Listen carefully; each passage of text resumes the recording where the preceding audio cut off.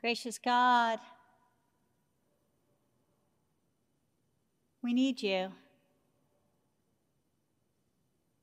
Help us. May we hear you and may we listen. In your blessed name we pray.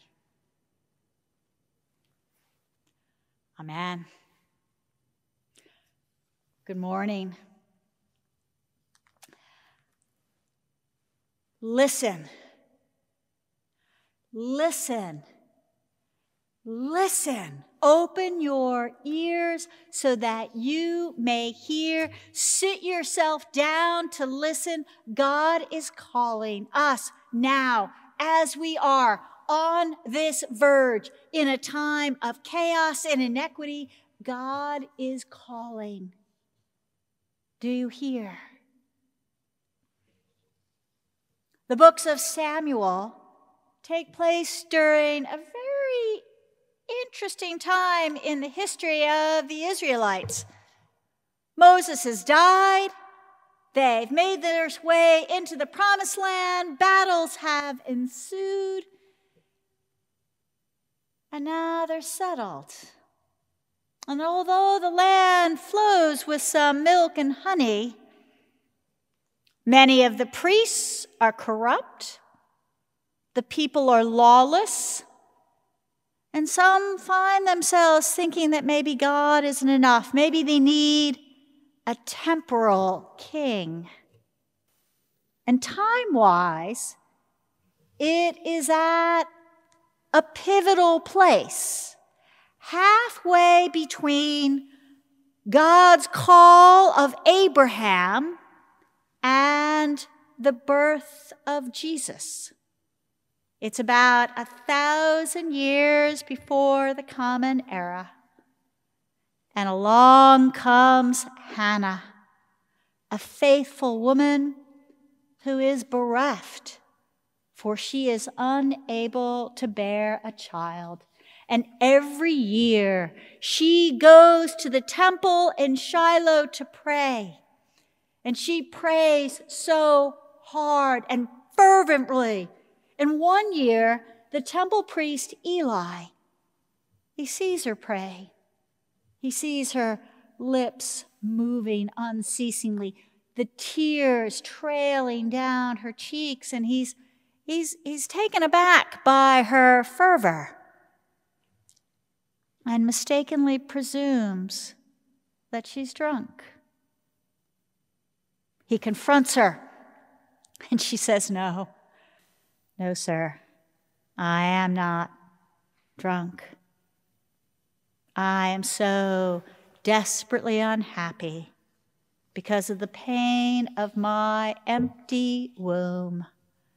And every year I come here to ask God to bless me with a little one. Eli feels compassion. He takes in her sadness and bearing witness to her faithfulness, he says, Go in peace now, and may the God of Israel answer your prayers. And God did. Less than a year later, Hannah gave birth to her son. She named him Samuel and she dedicated him to God. And after he was weaned, she brings him back to the temple to be with Eli for him to spend his life as a priest serving God. And this, then, a few years after, is where our story today picks up. He's older now, He's a preteen or so, Samuel. And he's living in the temple and he's sleeping next to the Ark of the Covenant, the Holy of the Holies, when he hears his name being called Samuel, Samuel. And three times he gets up and he runs to the nearby room where Eli is sleeping, thinking that it is Eli who has called him. And twice, Eli, completely annoyed, tells him to go back to bed.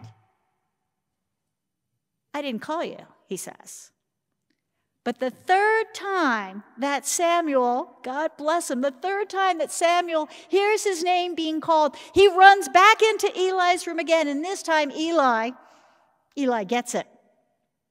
Even though it was a time when the word of God was rare and visions were not widespread. After the third time, Eli understands this is God speaking to Samuel.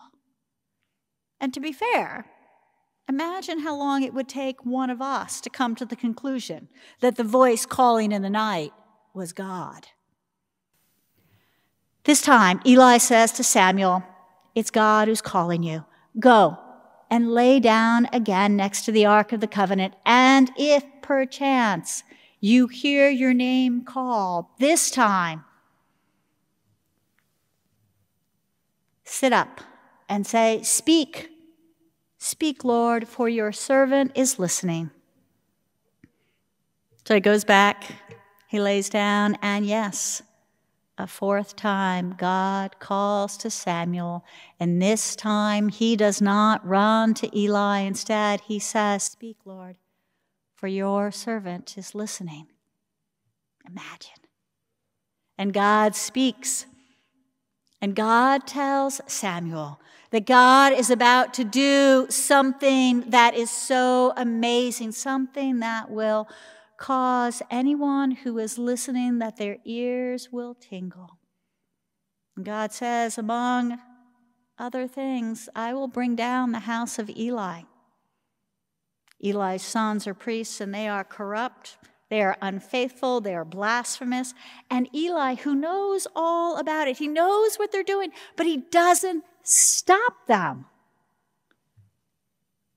Well, after listening to God, Samuel stays in his room, laying close to the ark. He stays there until late morning. He's afraid to go and see Eli for fear that Eli may ask him what God has said to him. But Eli does eventually call to him, and he says to Samuel, Speak the truth. Tell me what God said. Tell me all. So Samuel does.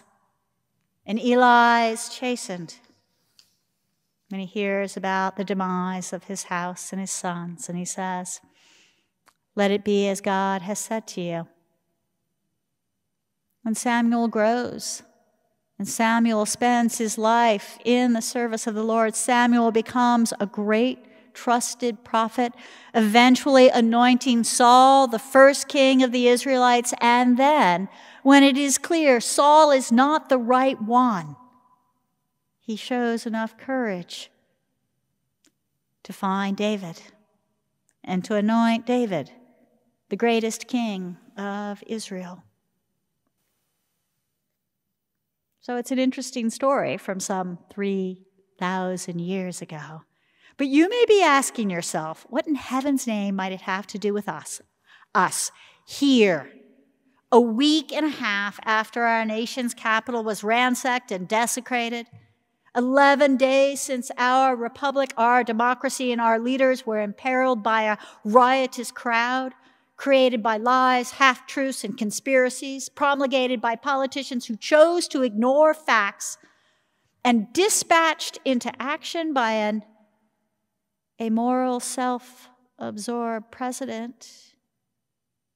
And then perhaps unknowingly or knowingly, led by more than a few right wing hate groups.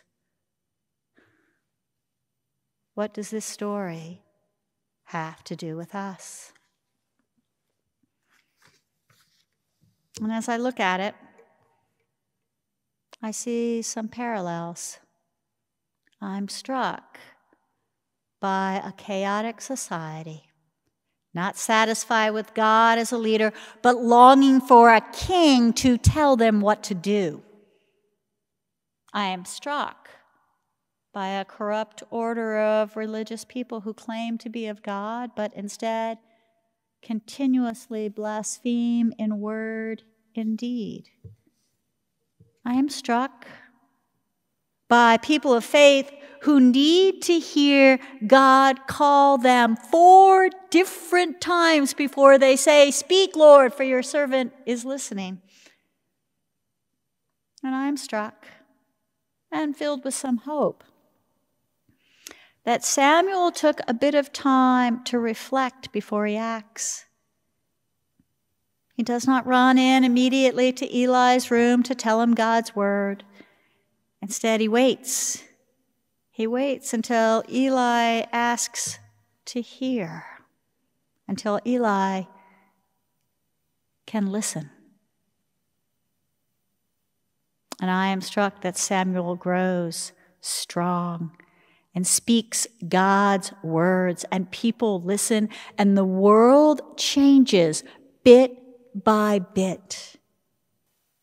And the chaos is reduced, and some order comes to be. Hands on this Martin Luther King weekend. And for the next few weeks, I long for us to be quick to pray attentive in our listening, and maybe a bit slower to act. I don't usually say those words. But let's talk about the listening. Who are we and who might we be listening to? Who do I listen to? People who hold the same opinions as we do? I certainly enjoy doing this because it makes me feel better about my own beliefs. But do I gain a different perspective? We could listen to people who espouse racist beliefs and nefarious white supremacist views. And, and I think I, and I think we need to do a bit of this because it's important to know what people are saying what people, other people are hearing. But I know that if I become too obsessed with this, it fuels me with a deep, deep anger that I think prevents me from doing the hard work of beginning to understand why a wide swath of our country is so very, very angry and distrustful, and so very afraid, seemingly, of diversity, equality, and inclusion. Why are so many people seemingly afraid of Dr. King's dream that that dream may be realized in our country? Why are so many of us who claim to be Christian afraid of having power and access to power equally distributed across all races and classes. Why do so many of us who follow Christ believe that our world is an apple pie where if you get a big piece, I must get a small one? Why do we not understand that God's grace is so much more than that? What if we slowed down and took the time and ask these questions in our own families? So many of us have relatives, family members, high school friends, college people who have different perspectives than ours. What if we took the time to really listen and to hear and to pause, to reflect, and then to ground ourselves in God, to embrace God's time, and to then thoughtfully, carefully create our response to all of this chaos? Let us not add our own adrenaline to this system. Let us listen long and hard before we speak. Let us stay away from all places of public demonstration. Let us listen, as the German theologian Karl Barth said, with a Bible in one hand and a newspaper in the other. And to be fair, if Karl Barth was alive today, I'm sure he would be on Facebook, Instagram, and Twitter. But let us view all of that news with God's word in the other hand. In this day and age, in a time when God's word seems rare and visions are not widespread, let us be the ones who sit up and listen who seek understanding and new insights, let us be the ones who spend our nights waiting for God's holy word, knowing that when we do listen, when we do hear, when we do digest and learn, then we, then we are the ones, then we are the ones who will need to act. Friends, we are people of faith, and God acts through us and God loves through us. And God has done that before, and God will do it again with us. Amen. And may the peace of God, which passes all understanding, keep your hearts and your minds in the knowledge and love of God and of God's Son, Jesus Christ our Lord. And the blessing of God, Creator, Christ, and Holy Spirit be with you this morning and remain with you always. Amen.